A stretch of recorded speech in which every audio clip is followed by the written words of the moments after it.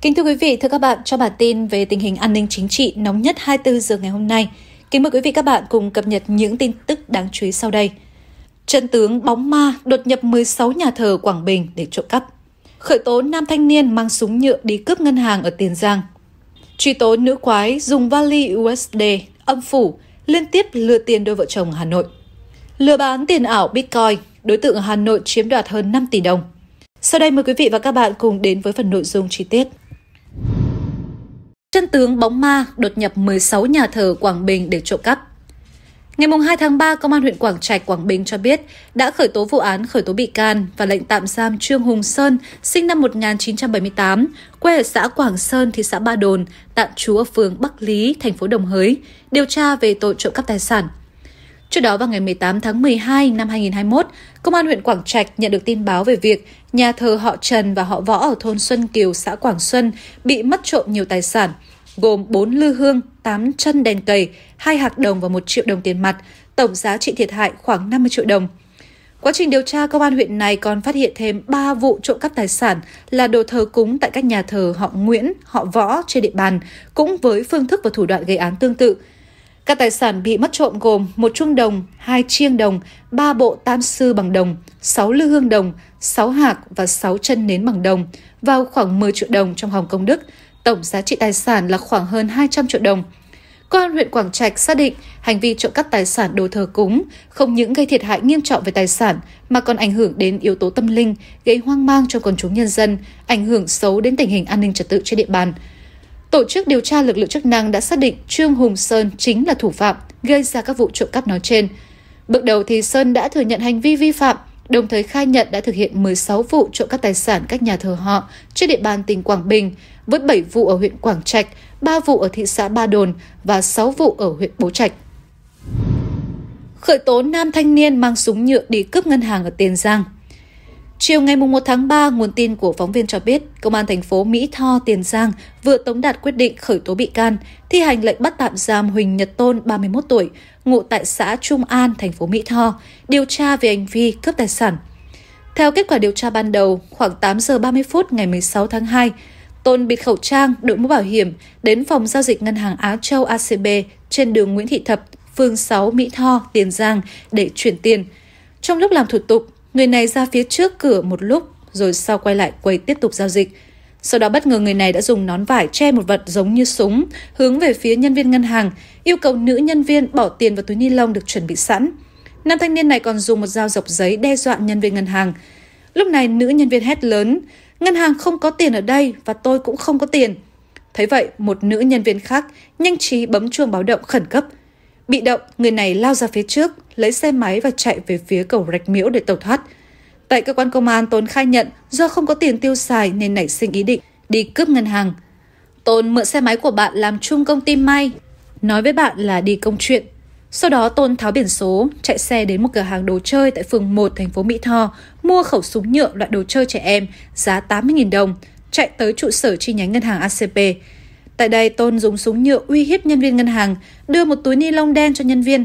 Bên trong có ghi yêu cầu nhân viên ngân hàng bỏ 500 triệu đồng vào túi. Khi bị một nữ nhân viên khác của ngân hàng nhấn chuông báo động, Tôn bỏ chạy đến khu trung cư Mỹ Thạnh Hưng, cởi áo khoác bỏ vào cốp xe. Sau đó chạy xe máy đến cầu Nguyễn Công Bình, ném túi ni lông có chứa khẩu súng nhựa xuống kênh, gắn lại biển số xe rồi trở về nhà. Cho đến khoảng 9 giờ ngày 18 tháng 2, cảnh sát đã bắt giữ Tôn tại một công ty may thuộc xã Trung An, thành phố Mỹ Tho. Khám xét nơi ở của Tôn, cảnh sát đã thu giữ một xe máy, một mũ bảo hiểm cùng một số tăng vật có liên quan. Truy tố nữ quái dùng vali đô la Mỹ âm phủ, liên tiếp lừa tiền đôi vợ chồng ở Hà Nội. Viện Kiểm sát Nhân dân thành phố Hà Nội vừa hoàn tất cáo trạng truy tố Nguyễn Thị Nhung, sinh năm 1970 ở Sơn La, tội lừa đảo chiếm đoạt tài sản – theo cáo trạng, do cần tiền tiêu và trả nợ, Nhung đã tự giới thiệu bản thân tên là Phương, làm việc tại văn phòng chính phủ, có nhiều mối quan hệ để đi lừa đảo. Nhung nổ về khả năng mua được xe thanh lý của văn phòng chính phủ với giá rẻ, làm được sổ đỏ đất nông nghiệp và được giao nhiệm vụ là đi lấy tiền cho lãnh đạo cấp cao của Trung ương. Tin lời Nhung, vợ chồng ông Thiều Anh S, sinh năm 1965 ở Cầu Giới Hà Nội, nhiều lần đưa tiền cho bị can để rồi bị lừa. Nhung nói với ông S, văn phòng chính phủ đang bán thanh lý một ô tô bán tải nhãn hiệu Forenger với giá 272 triệu đồng, một xe nhãn hiệu Camry 2.5 sản xuất năm 2016, giá 390 triệu đồng. Theo lời Nhung, nếu như vợ chồng ông S giao đủ tiền, đến ngày 30 tháng 4 năm 2021 sẽ được bán giao xe. Nhung sẽ giúp làm thủ tục xin cấp biển số đẹp cho hai xe này. Từ ngày 23 đến 29 tháng 4 năm 2021, vợ chồng ông S đã chuyển cho Nhung 502 triệu đồng mua hai chiếc ô tô và chi phí để có biển số đẹp. Nhận tiền, Nhung dùng để chi tiêu cá nhân hết. Nữ quái còn hứa với vợ ông S sẽ giúp làm sổ đỏ đất nông nghiệp cho thửa đất rộng hơn 12.000 m2 ở Đông Anh, Hà Nội. Sau khi làm xong sổ đỏ, Nhung sẽ giới thiệu khách đến mua lại thửa đất trên. Bị can yêu cầu vợ chồng ông S đưa trước 220 triệu đồng để lo chi phí nhờ người làm sổ đỏ đất nông nghiệp. Lần này nhận được tiền, bị can cũng chi tiêu cá nhân hết. Theo cáo buộc vào ngày 27 tháng 4 năm 2021, Nhung còn tiếp tục nói dối ông S rằng chị ta được giao nhiệm vụ vào thành phố Hồ Chí Minh để lấy 7 triệu đô la Mỹ cho lãnh đạo cấp cao của Trung ương. Nữ quái nói, nếu lấy được tiền, chị ta sẽ được chia 10 tỷ đồng. Nhung bảo ông S thuê xe ô tô đi cùng vào thành phố Hồ Chí Minh để lấy tiền, hứa trả cho công ty 5 tỷ đồng nên ông S đồng ý. Trên đường đi, Nhung bảo ông S đưa cho chị ta 300 triệu đồng để bồi dưỡng cho nhân viên ngân hàng nhờ giải quyết việc lấy tiền nhanh và thêm 10 triệu đồng để ông S tin là đã nhận được tiền. Sau đó Nhung tiếp tục yêu cầu ông S đưa thêm 50 triệu đồng nữa để giải quyết công việc. Đến ngày 2 tháng 5 năm 2021, Nhung yêu cầu vợ ông S nộp thêm 100 triệu đồng để làm giấy tờ nhận xe ô tô. Lúc này nhận thấy Nhung có biểu hiện lừa đảo, vợ chồng ông S kiểm tra hai vali đựng tiền thì phát hiện trong đó chứa tiền giả nên đã làm đơn tố giác. Vợ chồng ông S đề nghị xử lý Nhung theo quy định pháp luật và yêu cầu bị can trả lại số tiền hơn 1 tỷ đồng đã chiếm đoạt được.